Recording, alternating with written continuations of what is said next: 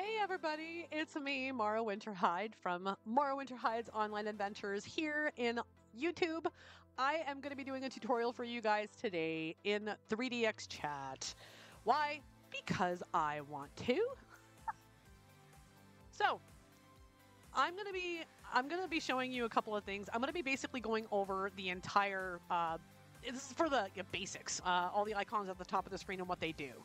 Um, now, don't panic. You don't have to sit here and watch the whole video. If there's a couple of things that you already know how to use and you just want to skip to the one that you want to learn about, I'm going to add chapters to my video so that you can just go into the description and click on the timestamp that you want to get to in order to learn about that, you know, that tool specifically.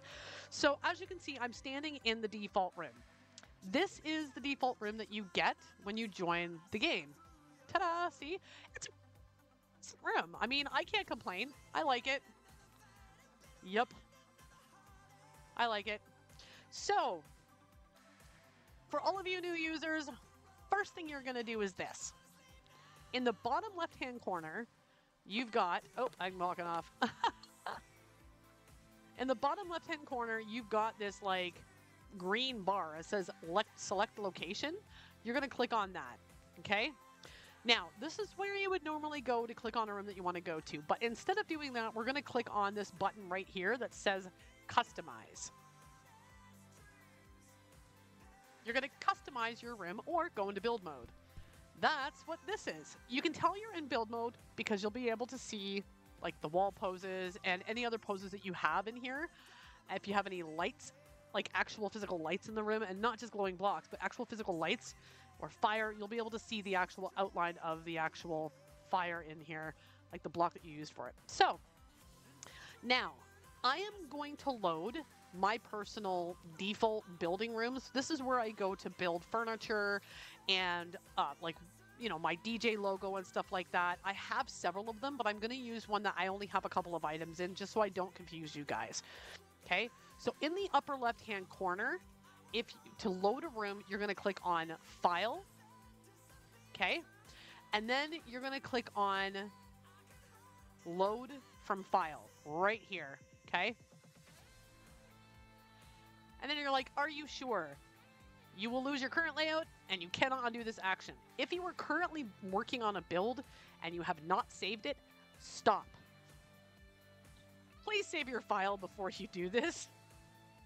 I can't count how many times I've done this and lost, I don't know, usually about 15, maybe half an hour worth of building. The odd time I will forget to save every 15 minutes, but uh, it is what it is, right? So then you're going to click on OK. Now, I'm going to make a suggestion. Don't save your builds in the same file as where your 3DX is installed. Because if you ever have to uninstall the game because you're having issues with it and reinstall it, you're going to lose everything. All of your outfits, all of everything. Okay, so in my documents, this is where my game is installed. I created this completely separate folder for it. This is where all my 3DX shit is. So you're going to go into your building folder, okay? And if you scroll down, I'm going to see, well, if I scroll down, I'm going to see my generic building rooms. So click on that. And welcome to my generic building room. Ta-da! Okay, so here's a really cool thing about build mode. I'm trying to get it to change because I've been here just over two and a half years. Pressing F6 on your keyboard, watch. Pressing F6 on your keyboard will go into live mode, like avatar walking around mode, and you can actually run around. You cannot walk, you can run. Now, okay? That would be fantastic if we could walk. It would also be great if we could use poses, but in build mode you can't. Pressing F5 will bring you back, back into build mode. All right, next, settings. We're gonna go over settings. This is extremely important. In the upper right-hand corner, you're gonna go and you're gonna click on this little guy right here, settings. It's gonna bring you to the settings window. This is what you're gonna use for build mode, okay? Everything's set to default. I changed it back to default because finally, thank you Gizmo, your godsend when it came to this. They set it up now so that whatever you change in here, when you go out of build mode into live mode, start fiddling around, go back into build mode, whatever settings you changed in here are going to stay that way. When I first started the game two and a half some odd years ago, if whenever I changed my settings and left build mode and went back into build mode, they were always defaulting to like the default. They were always going back to the default settings, and it was so frustrating because sometimes I couldn't remember what the settings were. Don't worry about that. Whatever you change it to here, it's always going to be what you left it at. So the default ocean level is always set to zero meters, okay? You can see that. Pretty self-explanatory. There's the ocean. You're good, okay? Now, you can raise it up a little bit for whatever reason. In in this room, I can't get any higher than that. So I just leave it at zero, okay? Now, snap step. These two, I'm going to go over in the video much later on. In, my, in fact, I may do this video in chunks, like do one chunk of the video, then upload it, do another chunk of the video, then upload it, etc., etc. So, snap step is this guy here. I'm not going to turn it on. I'll go over it later. It's when you activate this and you go to move either a block or a grouped a set of grouped blocks like an item, it snaps to like every meter.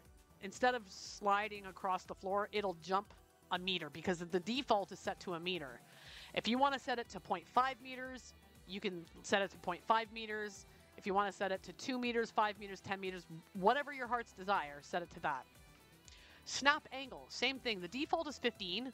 I don't change this. I leave it at 15 and here's why. When I turn this on up here, okay, the snap angle, when I'm turning an item, it'll snap to 15 degrees. So it'll turn every time I move it 15 degrees. So if I want to move something 45 degrees, I just turn it three times. If I want to turn something 90 degrees, I turn it six times. Very simple, right? You can change this to 90, but or even 45. But if you need, if you find that you're building and you want to move something just 15 degrees, go back into the settings and change it back to 15. I personally didn't I didn't change this. I did once and I forgot and I left it and I was like, whoops.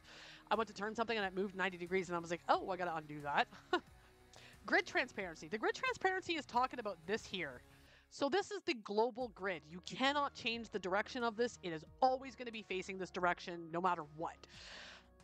Okay? You can make it super like solid to see or you can like fade it out. Okay? Um I usually leave it to the default that's pretty. I, I mean, that's fine for me. I haven't changed. I don't really change it too much. That's fine. Grid spacing. Uh, I almost never change this. This is a meter. Grid spacing is how many, like how the spacing between with these blocks. So if you take a look here, the entire world map, as we call it, is divided up into this giant grid. So one of these little blocks here is actually one meter by one meter. Okay. So one meter by one meter and then there's 10 of them across and 10 of them up. So each one of these big blocks here is 100 cubic meters. Okay? You can change that to 0.5 or even 5 meters, but I mean, watch what happens when you change it to 5 meters. One of these blocks now is 5 by 5. it's a little big. I usually leave it at 1. Sometimes if I'm if I'm trying to move something perfectly, but to a smaller space, I might bring it down to 0.5 meters, which makes the blocks even smaller. And there was one build I was working on that I changed it to zero, a quarter of a meter. But again, that's for more detailed work. We'll leave it at one for the tutorial, okay? Grid Y positioning. Now, this is kind of important because, like, as you get more advanced into building, you might want to raise where the grid is because when I was building, for example, Sunset City, I needed to raise the grid up so that I could place the lines on the floor in my Sunset City perfectly apart. Okay? Watch what happens to the to this here and watch the floor as I raise the grid positioning, okay? Now the position Y, that's the axis. If you're if you're talking about like what's the axis? The axis is the X, Y, and Z positioning and I'll explain that a little bit later. So the y-axis is up and down, Okay, so that's up and down. So if I'm going to change this to five meters, see how it's above now? You've basically risen, you raised it above the sea level. See what I mean? So we're going to bring that down to one. And that brings it super close to like the floor.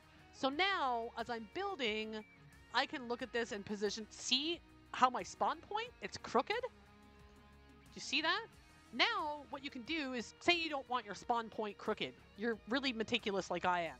At least I'm becoming more meticulous. You can actually select your spawn point and, and turn it so that it's at the perfect position, okay? We're to bring that back down to zero. Uh, you know what? Let's bring it up to 0.5.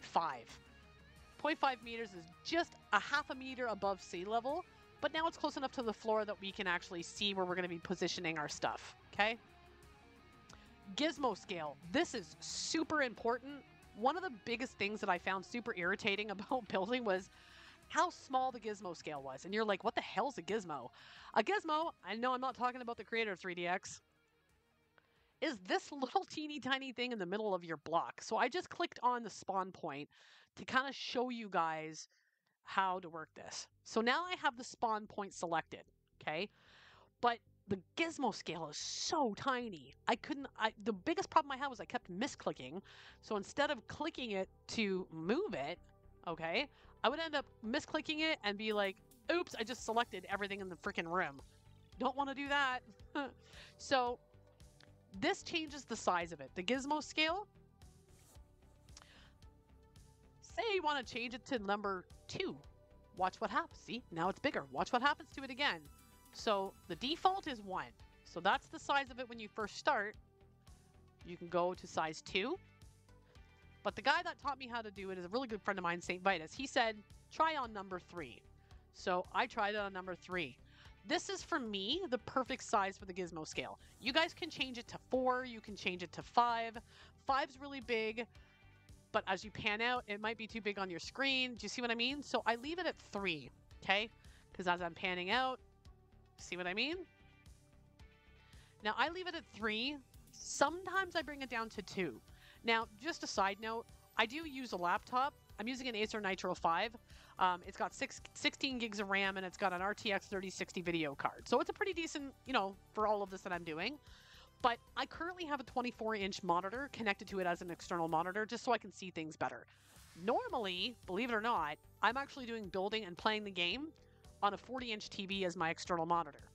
Why? I don't know, because I can. Actually, the reason I was using a 40 inch uh, TV as my monitor is because my old laptop, I only got this laptop in March, had a shattered screen, so I needed an external monitor. Let me tell you, when I got my new monitor in March, downgrading from a 40 inch TV to a 15 inch laptop monitor was a bit of a shock.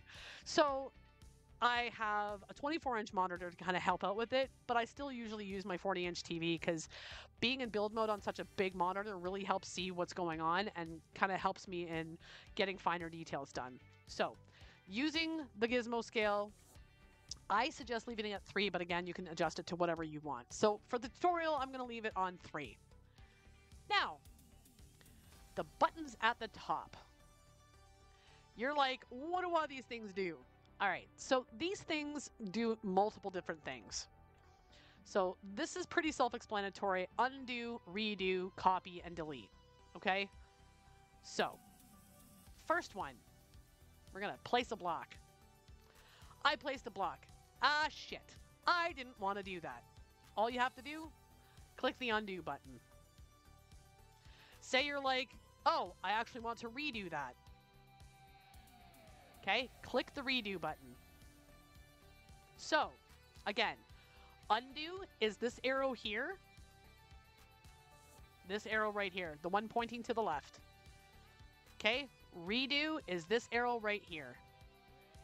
So undo and redo. Undo on the keyboard shortcut is Control Z. Again, Undo on the keyboard shortcut is Control Z. Redo is Control Y. Again, redo on the keyboard shortcut is Control Y. Ta-da! There's undo and redo. Now, copy.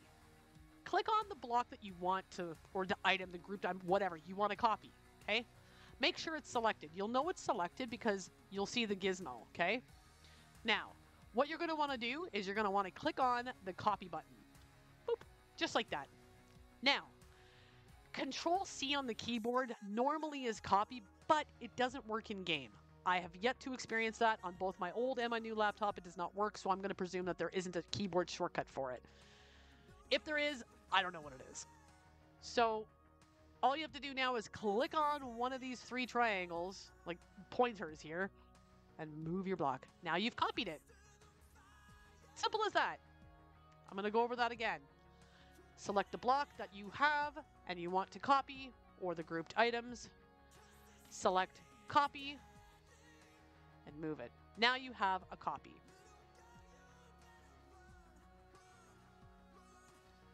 Now, delete. this is pretty self-explanatory. Select the item or block you want to delete and click on delete. Or the keyboard shortcut, click on the delete button on your keyboard. Pretty simple. Again, select the item that you want to delete, click on delete, and you're done. Or the keyboard shortcut, delete. Ta-da! That is your tutorial today for undo, redo, copy, and delete. All right, that concludes this tutorial for you guys today. I'm going to upload another one. If you guys have any questions or comments, please feel free to ask them in the comments section below.